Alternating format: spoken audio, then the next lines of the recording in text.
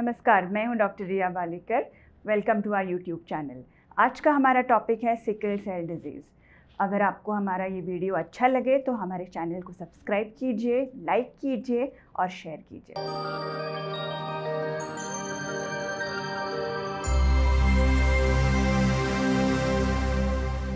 Sickle cell का बीमारी रहता क्या है? सिकल सेल बीमारी शरीर में तब होता है जब हमारे शरीर में हंसिया प्रकार के ब्लड सेल्स तैयार होते हैं। इसके टाइप्स तीन मेन प्रकार हैं। एक है एएस जिसे हम ट्रेड बोलते हैं। एसएस जो सिकल सेल का बीमारी रहता है। और सिकल जब थैलेसीमिया के साथ कॉम्बिनेशन में आता है तो इसे बोलते हैं सिकल थैलेसीमिया डिज़ीज़ ये बीमारी होता क्यों है?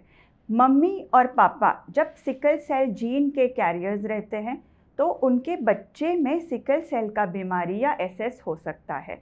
तो आइए ये ग्राफ के द्वारा देखते हैं कि अगर पेरेंट्स कैरियर्स हैं तो सिकल सेल बीमारी होने के चांसेस क्या हैं।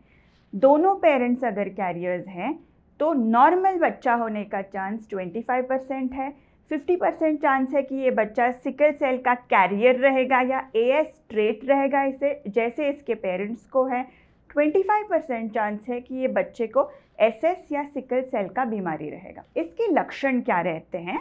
मतलब what are the symptoms of sickle cell disease सबसे पहले, क्योंकि ये सेल हंसिया शेप के रहते हैं, हमारे बॉडी में एक मैकेनिज़्म है, जिसमें कोई भी अगर एबनॉर्मल सेल बॉडी में क्रिएट होता है तो हमारी बॉडी उसे नष्ट करती है।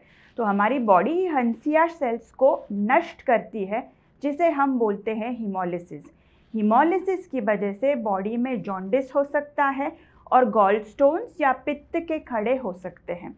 दूसरा, क्योंकि ये ब्लड सेल्स नष्ट हो रहे हैं और नॉर्मल हीमोग्लोबिन का मात्रा कम है, इसीलिए पेशेंट को अनीमिया होता है।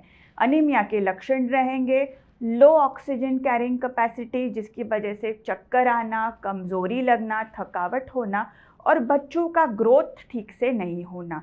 दूसरा अनीमिया की वजह से जो मेजर ऑर्गन्स हमारे बॉडी में रहते हैं, उनमें ब्लड सप्लाई भी कम होने से ऑर्गन में धीरे धीरे डैमेज होना चालू होता है। तीसरा लक्षण है, क्योंकि ये हंसिया टाइप के जो सेल्स रहते हैं, ये जगह जगह जाके ब्लड वेसल्स ब्लॉक करते हैं, जैसे आपके डायग्राम में देख सकते हैं। नॉर्मल ब्लड सेल्स हमारे बॉडी में स्मूथली फ्लो करते हैं, वही ये सिकल सेल्स जो रहते हैं वो जाके ब्लॉकेजेस करते हैं क्योंकि ये स्मूथली फ्लो नहीं कर सकते। इसकी वजह से जहाँ जहाँ ये सेल्स ब्लॉकेजेस कर रहे हैं, वहाँ वहाँ हमको प्रॉब्लम्स दिखेंगे। जैसे अगर ये सेल्स हड्डियों में ब्लॉकेजेस कर रहे हैं तो इसे हम क्राइसिस बोलते हैं। क्राइसिस मतलब हड्डियों में ब्लड वेसल्स ब्लॉक होने की वजह से जो सिवियर पेन या दर्द पेशेंट को होता है सिंपल वर्ड्स में इसे हम क्राइसिस बोलते हैं। हालाँकि सिकल सेल में बहुत अलग प्रकार के क्राइसिस भी हैं but this is the most common type of crisis जिसे हम बोलते हैं वैजो ओक्लूसिव क्राइसिस दूसरा ऑर्गन्स में ब्लड सप्लाई ब्लॉक होने की वजह से अगर किडनी में हुआ तो किडनी डैमेज हो सकता है। ब्रेन में हुआ तो पेशेंट को पैरालिसिस का अटैक भी आ सकता है। छोटे बच्चों में पैरालिसिस का अटैक आना एक बहुत कॉमन कारण है सिकल सेल का बीमारी।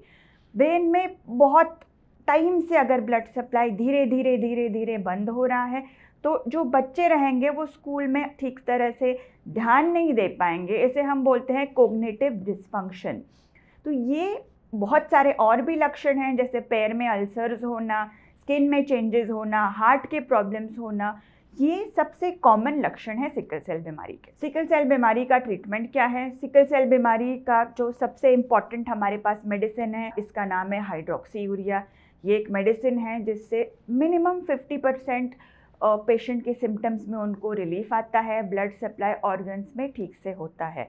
दूसरा, अगर पेशेंट का हीमोग्लोबिन कम है, तब ही हम ब्लड ट्रांसफ्यूजन देते हैं। नॉर्मल हीमोग्लोबिन के रहते हम as far as possible blood transfusion avoid करते हैं। ब्लड फॉर्मेशन के लिए फोलिक एसिड का टैबलेट देते हैं। इसके साथ ही नए नए और उपचार सिकल सेल की बीमारी में हमारे पास अवेलेबल हैं, जिससे हम सिकल के सिम्टम्स बहुत हद तक कम कर सकते हैं। सिकल सेल का डेफिनेटिव या फाइनल ट्रीटमेंट या सबसे अच्छा ट्रीटमेंट क्या है? वो है bone marrow transplant gene therapy जो है वो सिकल सेल में अभी इनिशियल फेजेस में है, लेकिन इसमें अगर एडवांसेस हो तो ये सिकल सेल के पेशेंट्स के लिए एक बूंद ठहराएगा। सिकल सेल के पेशेंट्स ने प्रिकॉशंस क्या लेने चाहिए, ये सबसे इंपॉर्टेंट है। क्योंकि अगर पेशेंट्स ने ये ठीक से प्रिकॉशंस लिए तो पेशेंट बहुत हद तक एक लाइफ जी सकता है। मैं बहुत हद तक बोल रही हूँ, क्योंकि जब तक हम इसका क्योर नहीं करते, जो कि बोन मैरो ट्रांसप्लांट है पेशेंट को कुछ ना कुछ सिम्टम्स तो रहेंगे। तो प्रिकॉशंस क्या है? सबसे पहला आपका जो दवाई है, वो टाइम पे लीजिए। इसके जो स्पेशलिस्ट हैं, उनको दिखाइए, उनको कंसल्ट कीजिए, वो आपको बराबर से गाइड करेंगे।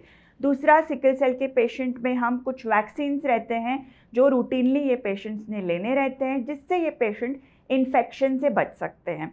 तीसरा, जैसे मैंने सेकंड पॉइंट में कवर किया इन्फेक्शन से बचना बहुत ज़रूरी है।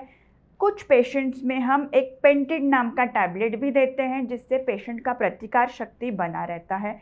चौथा, क्योंकि ये हंसिया टाइप के जो सेल्स रहते हैं डिहाइड्रेटेड स्टेट में ज़्यादा प्रमाण में ये बढ़ते हैं, इसीलिए अगर अनलेस कॉन्ट्राइंडिकेटेड सिकल सेल के पेशेंट्स ने एडिक्वेट अमाउंट्स में पानी पीना चाहिए।